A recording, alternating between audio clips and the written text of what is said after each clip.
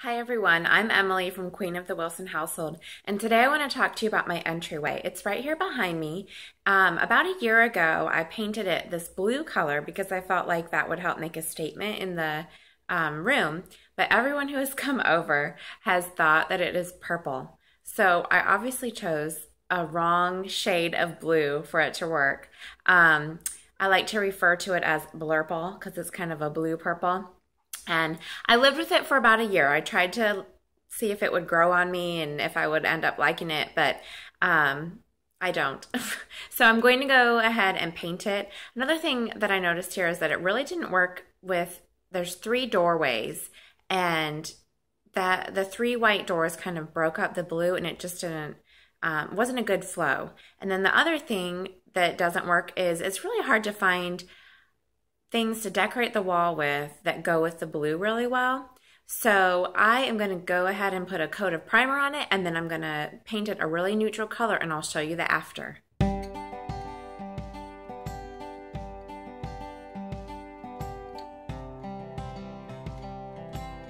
Okay everyone, here's my completed entryway. I think it looks a lot brighter and bigger and the space flows a lot better with the lighter wall color.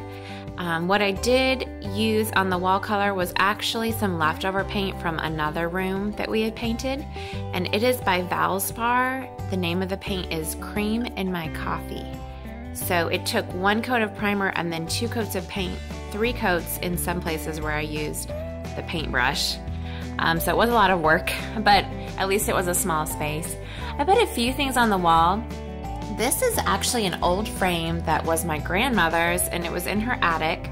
I had used it in my son's bedroom, but when we moved him to a different room, I decided not to use it and I felt like it looked well, looked pretty good in this vase and then I used this wall vase um, that I had got gotten a few years ago. And I put that inside the frame because I felt like it kind of went together and um, then put some faux flowers in the vase and to me, it kind of has a little bit of a fixer-upper look. If you follow that show on HGTV, um, Joanna Gaines, she likes to use older elements and things that are 3D on the wall rather than just flat pictures hanging up. So I was kind of proud of myself for doing that. And then um, the rest of the entryway down here, I didn't do anything on the walls here. It's kind of a smaller space anyways, and people don't go back there. So I just felt like to keep it less cluttered, I would just keep it clear of anything.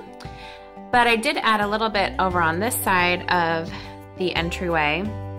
The top two frames are frames that I've had for a while, and I painted the white one years ago. And I just took some scrapbook paper and cut them down to size and put them inside. I liked the colors and the patterns on these. Um, I got them from Michaels. If you are ever looking for cheap scrapbook paper, the place to go is Michaels because they often have it on sale for six for one dollar for the 12 by 12 sheets, which equals 16 cents a sheet. And I have not seen it cheaper anywhere else. So um, I just put those in there. I may end up putting some kind of a printable in the center of one of them or both of them you know, like Home Sweet Home or something like that. But we'll see. For now, I just like the colors and the pattern. And then down below is a little picture that my mom had had for years in her house, and she gave it to me and to use in my son's nursery. And I had used it in there, but we were ready for something new. So I brought it out here because I felt like it went well with the blue in the scrapbook paper. And now instead of crazy blue walls, I just have little touches of blue in the entryway. And I like that much better. I think it's a calmer entrance to our home and um, it just it flows a lot better with the rest of our home. So that's it. Thanks for watching.